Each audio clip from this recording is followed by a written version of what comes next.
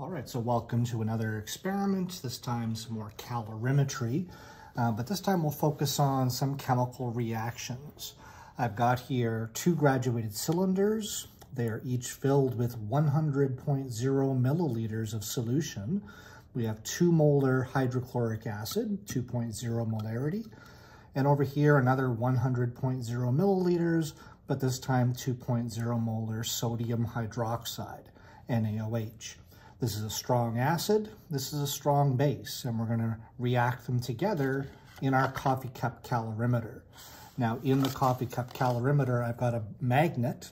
I'm gonna be putting that magnet in there, put it on a magnetic stirrer, we'll turn that on, it'll keep things mixed as they react. Now I've got a vernier um, temperature sensor displayed over here is the temperature. Let's see what the initial temperature of these solutions are. We'll just measure the initial temperature of the sodium hydroxide. We'll assume that the temperature of the hydrochloric acid is the same. Both solutions have been made about two or three days ago and they've been sitting at room temperature. So there you can see the initial temperature of the solutions. All right, I'm gonna put the thermometer through a hole in our styrofoam lid that fits snugly into our styrofoam cup. Now let me pour one of those two solutions, the sodium hydroxide, into the calorimeter, the coffee cup calorimeter.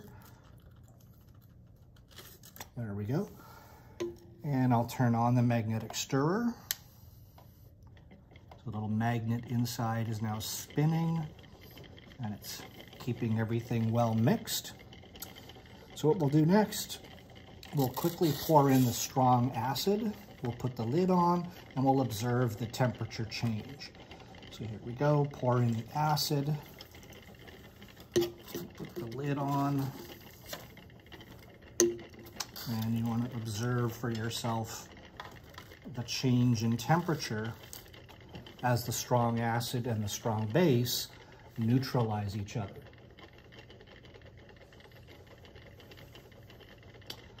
It seems to have reached pretty much a maximum temperature.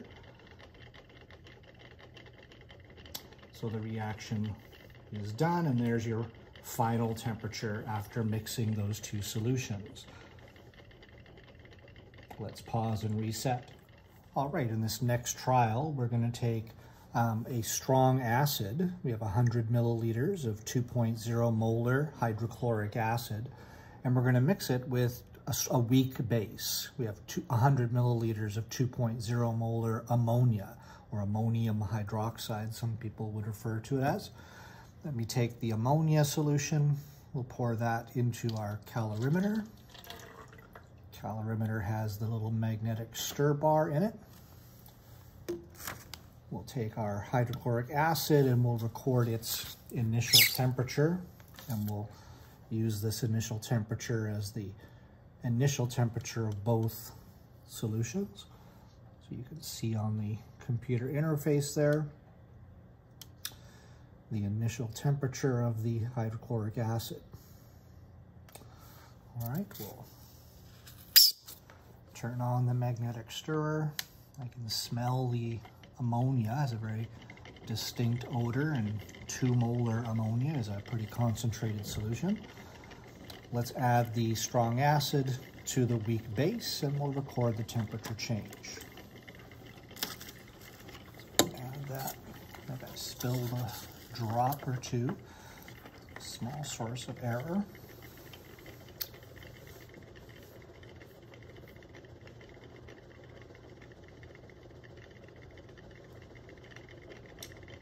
So you can see the reaction there has reached completion. The system is at thermal equilibrium. There's your final highest temperature reached. All right, so let's reset. All right, so for our third trial, we're gonna go back to our strong base. We have 100 milliliters again, this time 2.0 molar sodium hydroxide, and we'll neutralize it with 100 milliliters again of this time 2.0 molar acetic acid or ethanoic acid, which of course is found in vinegar, and it's a weak acid. So here we're doing strong base with a weak acid. Let's pour the base into the calorimeter.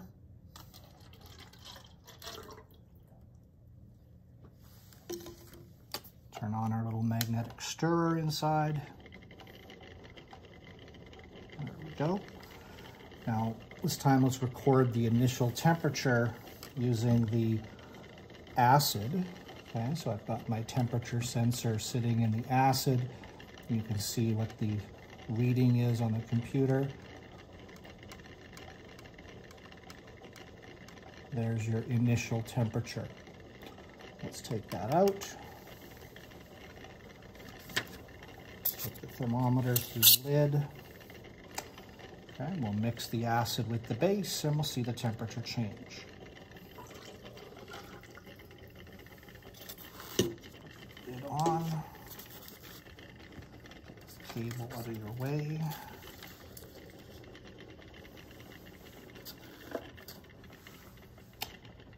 You can now see the temperature is rising dramatically.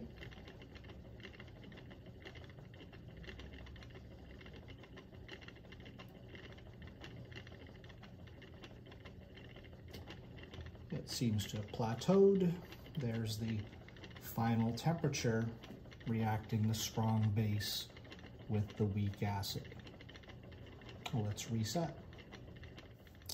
All right, and for our last trial today, we're gonna take a weak acid, 2.0 molar acetic acid, and we'll mix it with the weak base, 2.0 molar ammonia.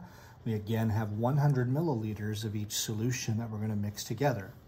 So I'll pour in the ammonia first to our calorimeter. You can smell the ammonia solution.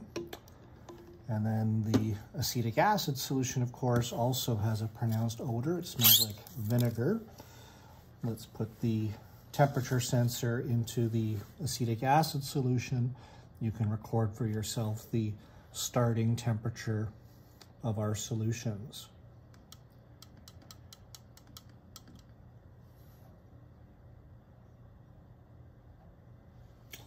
All right, so now let's mix the two. I'll turn on the magnetic stirrer. And here we go, pour in the acid. And immediately put the lid on. And you can see for yourself the temperature change that's occurring.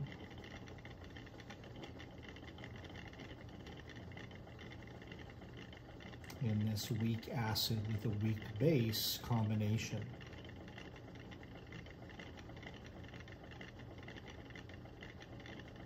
All right, so it seems to have reached its final temperature, the highest temperature it's going to get to. So record that as your final temperature. You should now have enough data to calculate the molar heats of neutralization, the molar enthalpy of neutralization for each of the four acid-base neutralization reactions that we've seen here today. All right, for this next trial, we're going to take a look at the heat of dissolution for an ionic compound as it dissolves in some water. We're going to be using, as our ionic compound, ammonium persulfate first. You can see there the name and its chemical formula. You can also look up the formula if you'd like, ammonium persulfate.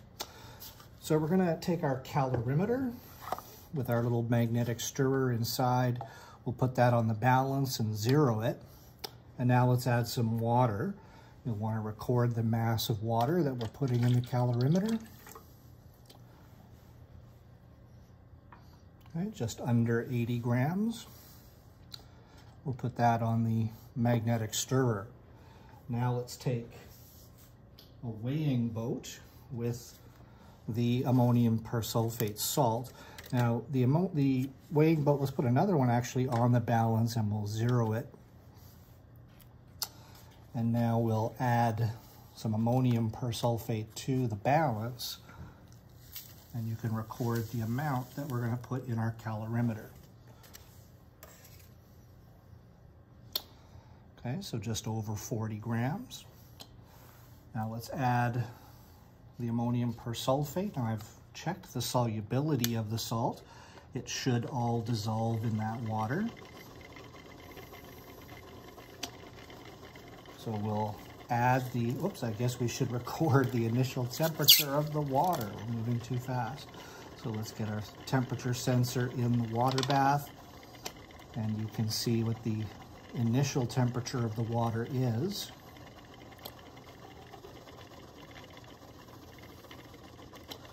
All right, now let's add our salt. As I'm doing this pretty quickly, you may note some, some things going, hey, that's not the best way to do that, or I would have done something a bit different. You can think about different possible sources of error in this experiment. So let's add the salt, get our lid on the calorimeter, and you can record for yourself the final temperature inside the calorimeter. We'll get spinning a little bit faster. I don't want it to splash things up on the sides of the calorimeter, but we do want it to dissolve the salt. So you can see here right away something a bit different from the um, reactions between acids and bases. When we were doing acid-base neutralization reactions, the temperature rose when we mixed the acid and base. Here, when I dissolved the ammonium persulfate in the water, we see a, a quick and dramatic drop in temperature. So you can you think of the words exothermic and endothermic, and you can quickly apply one of them to each of those processes. Neutralization reactions, are they exothermic or are they endothermic? the dissolving of ammonium persulfate. Is it exothermic or is it endothermic? All right, so I think we've reached an equilibrium there. That last decimal is fluctuating a little bit, but I think you could record for yourself the final temperature inside the calorimeter, and we'll move on to try one more ionic compound. All right, for our final trial today, we're gonna do one more ionic solute um, and measure its heat of dissolution as it dissolves in some water. So let's zero the electronic balance with our calorimeter on top. There's a little magnetic stirrer in there. We'll add some distilled water. You can record for yourself the mass of water that we're using here, just a little bit more than 70 grams. Put that on the magnetic stirrer. This time we're going to use as our ionic solute potassium hydroxide. Okay, potassium hydroxide is a strong base, but like all strong bases, it's an ionic compound. It's got an alkali metal at the beginning, potassium hydroxide, so it should be quite soluble in water. Let's zero a balance again with a weighing boat. The potassium hydroxide comes in a form of pellets, rather large pellets, so it may take a little bit longer to dissolve in the water. We'll notice that if it takes longer for it to reach equilibrium. So there's the mass of the potassium hydroxide we're using. Okay, just over 20 grams. 21 grams actually.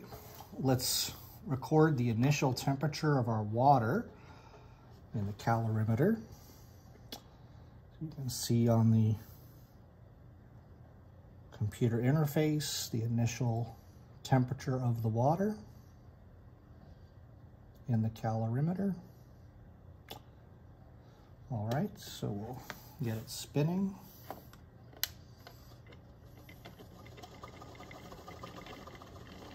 All right, and now we'll add our potassium hydroxide.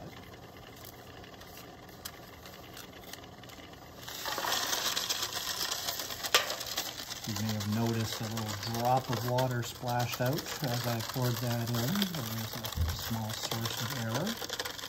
And you can hear, in the video, you can probably hear the sound of the pellets as they hit the temperature sensor. Now you can tell right away that the temperature this time is not dropping, it's rising. So different ionic solutes, when they dissolve in water, sometimes that process is endothermic and sometimes it is exothermic. In this case, we get a very large jump in temperature. It's gotten quite hot inside that calorimeter. All right, so it's reached its sort of an equilibrium there. I think the temperature stopped changing. So the potassium, I don't hear any more of that clicking sound, so the potassium hydroxide should be fully dissolved and you can record the final temperatures. So using the information for the two salts, the ammonium persulfate and the potassium hydroxide, you should be able to calculate the molar enthalpy of dissolution, the molar heat of dissolution um, for those two compounds.